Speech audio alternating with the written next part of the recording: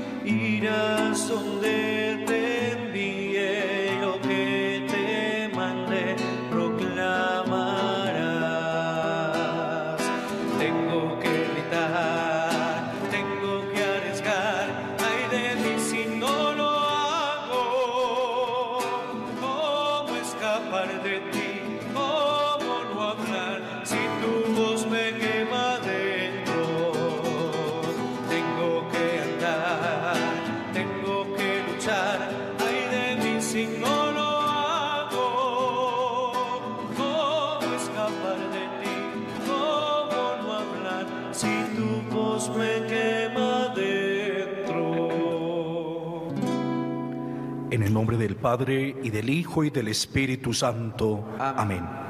El amor infinito de Dios nuestro Padre, que se nos ha manifestado en Jesucristo el Señor, esté con todos Y ustedes. con tu espíritu. Un saludo muy cordial, hermanos y hermanas. Bienvenidos a la celebración de la Eucaristía. Disponemos nuestros corazones para proclamar las maravillas del Señor, para sentir, como nos lo dirá en el Evangelio, que nuestra vida está segura en sus manos, que somos sus ovejas amadas y que nadie nos podrá arrebatar de la fuerza y la seguridad que nos da su amor. Pongamos entonces en este altar nuestras intenciones. Bendigamos a Dios por el don de la vida. Oremos también por aquellos que han muerto, para que el Padre los reciba en su reino y consuele a sus familias. Uno entonces estas intenciones a las mías y las pongo en el corazón del Señor. Iniciemos la Eucaristía reconociendo que somos pecadores y que necesitamos de Dios la fuerza para convertirnos sinceramente.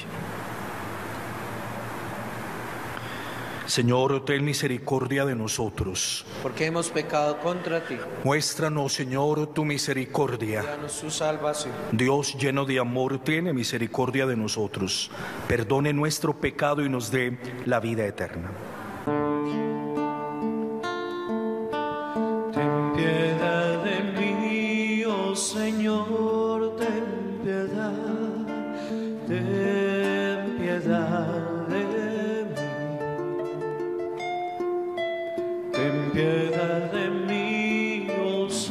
Señor, ten piedad, ten piedad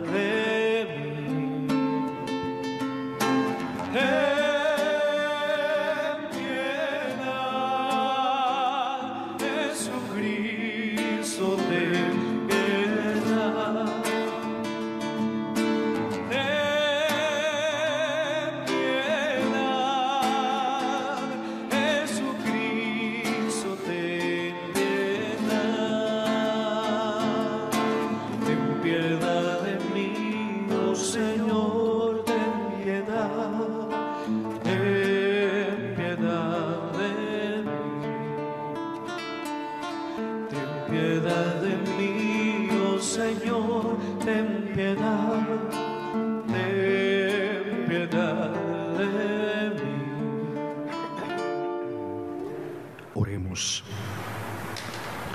Te pedimos, Señor misericordioso, que la celebración de las fiestas de Cristo resucitado aumente en nosotros la alegría de sabernos salvados.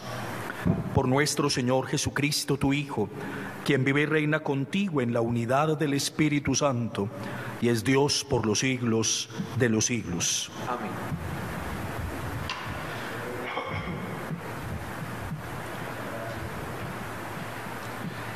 Del libro de los Hechos de los Apóstoles. En aquellos días, los que se habían dispersado en la persecución provocada por lo de Esteban, Llegaron hasta Fenicia, Chipre y Antioquía, sin predicar la palabra más que a los judíos. Pero algunos naturales de Chipre y de Sirene, al llegar a Antioquía, se pusieron a hablar también a los griegos, anunciándoles la buena nueva del Señor Jesús. Como la mano del Señor estaba con ellos, gran número creyó y se convirtió en el Señor. Llegó la noticia a oídos de la iglesia de Jerusalén y enviaron a Bernabé a Antioquía. Al llegar y ver la acción de la gracia de Dios, se alegró y exhortaba a todos a seguir unidos, llenos del Espíritu Santo y de fe. Y una multitud considerable se adhirió al Señor. Bernabé salió para Tarso en busca de Saulo. Cuando lo encontró, se lo llevó a Antioquía. Durante todo un año estuvieron juntos en aquella iglesia e instruyeron a muchos. Fue en Antioquía donde por primera vez los discípulos fueron llamados cristianos. Palabra de Dios. Alaben al Señor todas las naciones. Alaben al Señor. Él ha cimentado sobre él el monte santo y el Señor prefiere las puertas de Sión. Qué pregón tan glorioso para ti, ciudad de Dios. Contaré a Egipto y a Babilonia entre mis fieles. Filisteos, tirios y etíopes han nacido allí. Se dirá de Sión, uno por uno, todos han nacido de ella. El Altísimo en persona lo ha fundado. Alaben al Señor todas las naciones. El Señor escribirá en el registro de los pueblos, este ha nacido allí, y cantarán mientras danzan, todas mis fuentes están en ti.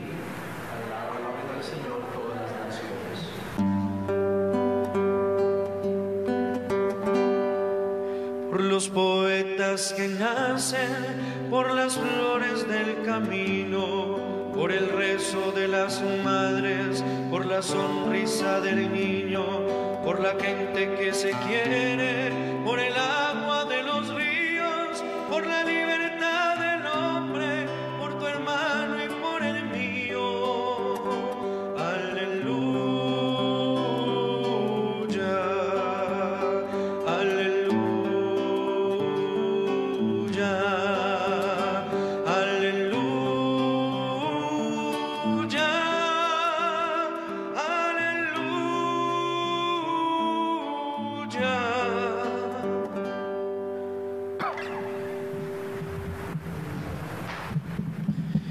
Hermanos y hermanas, el Señor esté con ustedes. Les proclamo el Evangelio de Jesucristo según San Juan. Gloria a ti, Señor. Se celebraba en Jerusalén la fiesta de la dedicación del templo. Era invierno y Jesús se paseaba en el templo por el pórtico de Salomón. Los judíos rodeándolo le preguntaban, ¿hasta cuándo nos vas a tener en suspenso? Si tú eres el Mesías, dínoslo francamente. Jesús les respondió, se los he dicho y no creen.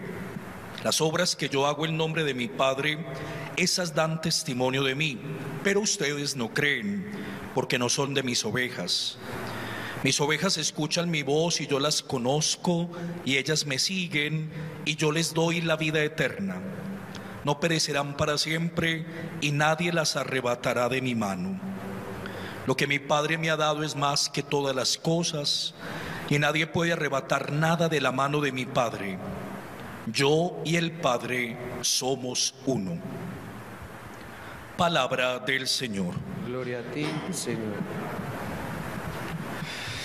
Una de las frases que más me llama la atención y me emociona profundamente del libro de los Hechos de los Apóstoles que meditamos en el tiempo de Pascua es esta que Lucas escribe al final del relato de hoy. Fue en Antioquía donde por primera vez a los discípulos los llamaron cristianos. Antes de este nombre maravilloso que todavía nos identifica a los discípulos de Jesús, hubo dos nombres con los cuales se conocieron a quienes hicieron esta opción por Jesús, reconocido como el Mesías. En primer lugar, los llamaron así, discípulos, porque reconocieron en ellos a los seguidores de Jesús de Nazaret, a los que por su Pascua lo reconocieron como el Señor. Luego los llamaron nazarenos. Y este nombre indicaba el gentilicio de Jesús, que pertenecía a aquella pequeña aldea de la Galilea, a Nazaret, y entonces a sus seguidores los llamaron de esta forma. Y junto a estos dos nombres aparece otro un poco extraño, pero también llamativo. Los llamaban los miembros del camino. La palabra camino identificaba a la iglesia naciente y precisamente porque daba cuenta de un estilo de vida alternativo, porque había una propuesta en la existencia de los discípulos, porque era tan fuerte el testimonio del Evangelio que la gente sentía una provocación para poder vivir como estos vivían. Por eso los llamaban los miembros del camino. Y miren que Jesús, y lo vamos a meditar el próximo domingo, se presenta ante sus discípulos como el camino, la verdad y la vida. Pero ahora, cuando los llaman cristianos, nos pudiéramos preguntar qué vio la gente para darles este nombre. Vieron a Cristo en la vida de los cristianos en sus seguidores hubo una transparencia tan nítida del Señor que ya no veían al uno o al otro, sino que vieron al mismo Cristo. En esto tiene razón el padre Astete que alguna vez conocimos los mayores cuando decía, ¿y qué es un cristiano? Un hombre de Cristo. Yo quiero ponerles un ejemplo muy sencillo para comprender esto. Nosotros en Colombia tenemos distintos acentos, modismos, formas de expresión, aunque todos somos colombianos. Pero uno cuando ve a una persona alegre, fuerte, intrépida, cuando ve a una persona que llamamos nosotros avispada, que lleva la delantera, que sirve, que está atenta a las circunstancias, inmediatamente decimos, es un paisa.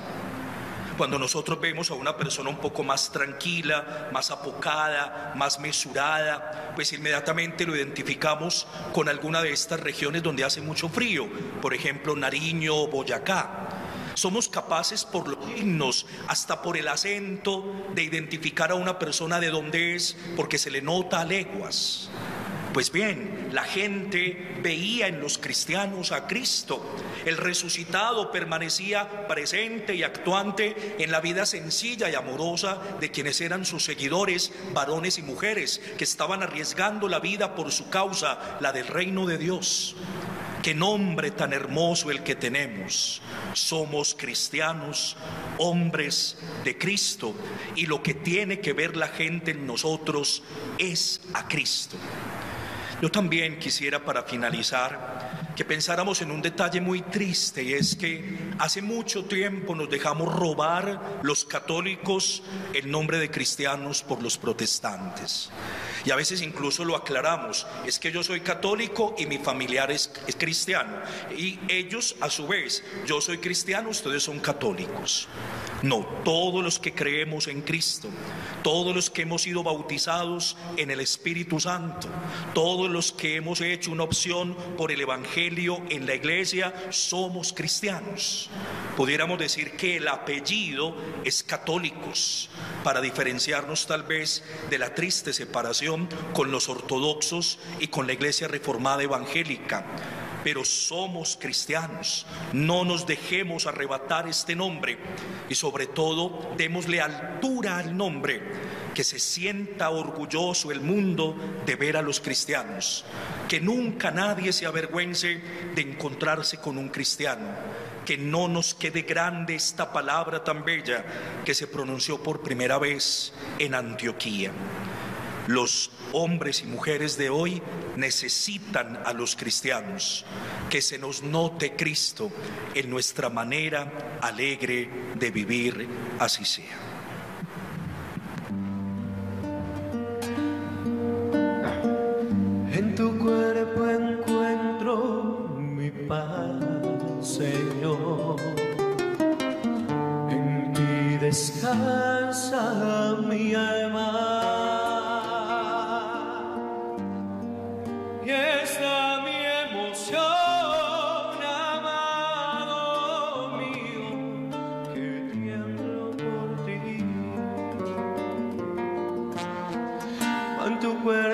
Sangre directo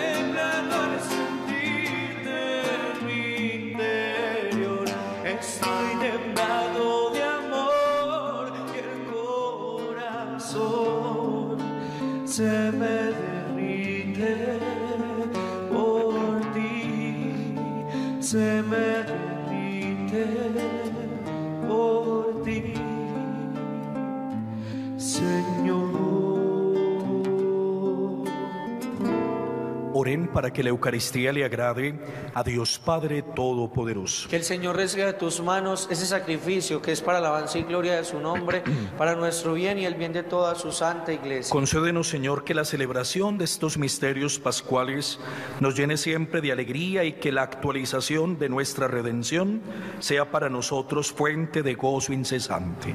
Por Jesucristo nuestro Señor. Amén.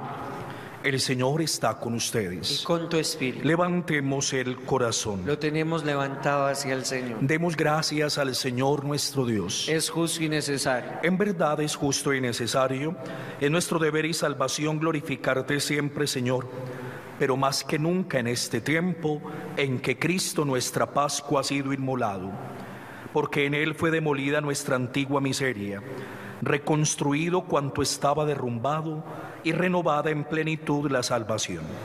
Por este gozo pascual el mundo entero se desborda de alegría y también nosotros unidos a los ángeles y santos cantamos tu gloria. Santo es el Señor, santo es el Señor, santo es el Señor. Que la creación con gloria y amor regalas al hombre. Santo es el Señor, santo es el Señor, santo es el Señor. Que la creación con gloria y amor regalas al hombre. Osana en el cielo, osana en la tierra, y que sea bendito quien viene en su nombre. Osana en el cielo, osana en la tierra, y que sea bendito quien viene en su nombre. Quien viene en su nombre, quien viene en su nombre. Santo eres en verdad, Señor, fuente de toda santidad. Por eso te pedimos que por tu Espíritu santifiques estos dones y los conviertas en el cuerpo y la sangre de tu Hijo muy amado. Él mismo, la noche de su pasión, tomó pan de la mesa y dando gracias te bendijo, lo partió y lo dio a sus discípulos diciendo, Tomad, comed todos de él, esto es mi cuerpo entregado por vosotros.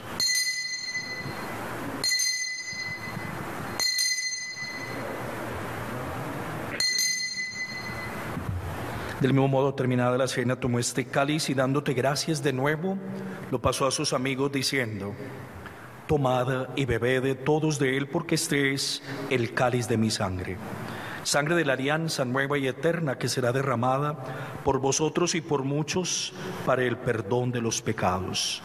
Haced esto en memoria mía.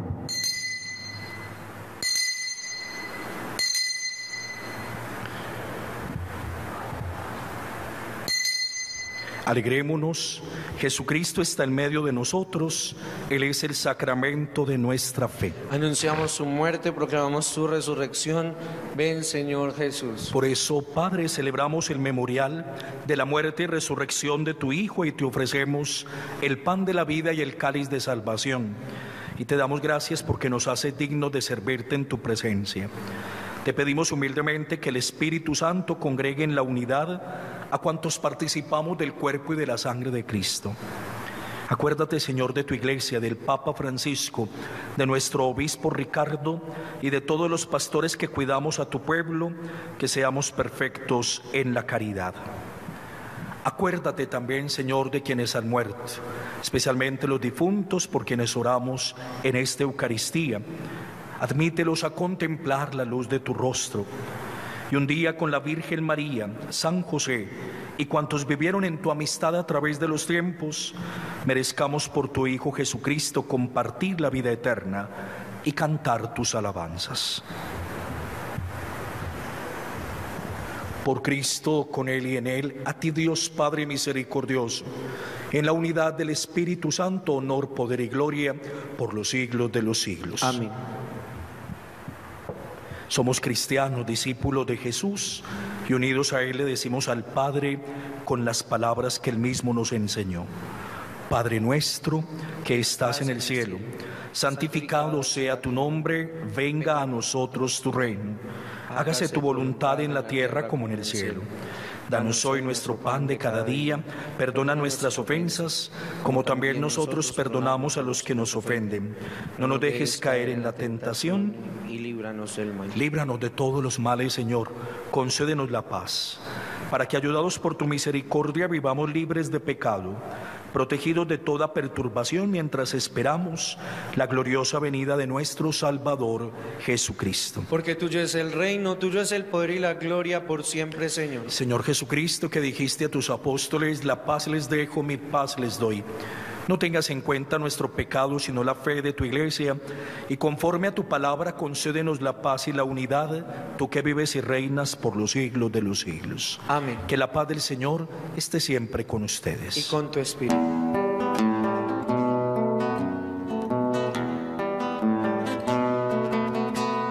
Es el Cordero de Dios que quitas el pecado del mundo. Es el Cordero el pecado del mundo. Ten piedad y danos la paz. Ten piedad y danos la paz.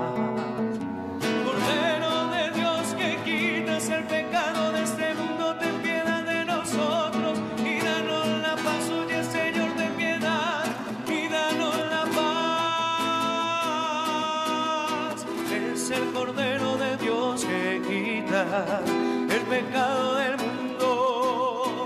Es el Cordero de Dios que quita el pecado del mundo. Ten piedad y danos la paz. Ten piedad y danos la paz. Y danos la paz. En medio de nosotros está Jesucristo, es el Cordero que quita el pecado del mundo. Dichosos los invitados a la cena del Señor. Señor, Señor, yo no soy digno de que entres en mi casa, pero una palabra tuya bastará para sanar.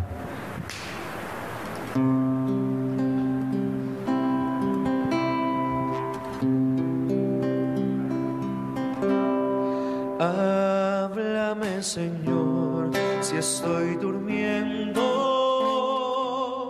que pueda yo servirte siempre fiel, estar sirviendo y en tu templo vivir como Samuel. Despiértame del sueño para oírte y dame un corazón como el del niño, que yo como Samuel pueda decirte, Señor, tu siervo es escucha, heme aquí. Despiértame del sueño para oírte y dame el corazón como el de un niño.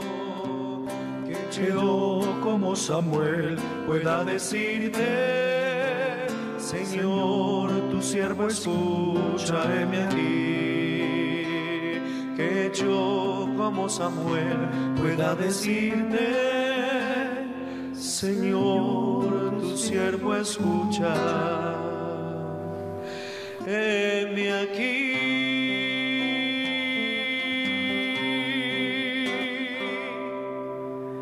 Escucha, Señor, nuestras oraciones para que la participación en los sacramentos de la redención nos sostenga durante la vida presente y nos dé las alegrías eternas. Por Jesucristo nuestro Señor. Como todos los martes, veneramos también a la Madre del Señor y le pedimos que interceda por nosotros. El Señor esté con ustedes. Y con tu espíritu. Y la bendición de Dios misericordioso, Padre, Hijo y Espíritu Santo, descienda sobre ustedes. Amén. Pueden permanecer en paz. Demos gracias a Dios.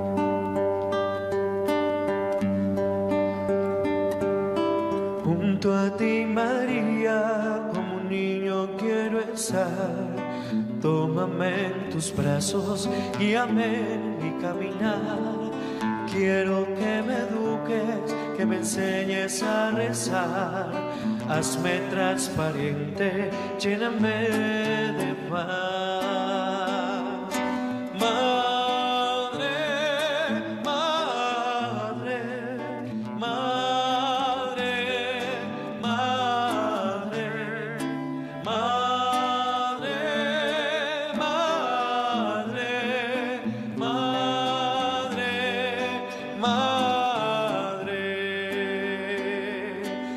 Gracias, Madre mía, por llevarme a Jesús. Haznos más humildes, tan sencillos como tú. Gracias, Madre mía, por abrir tu corazón, porque nos congregas y nos das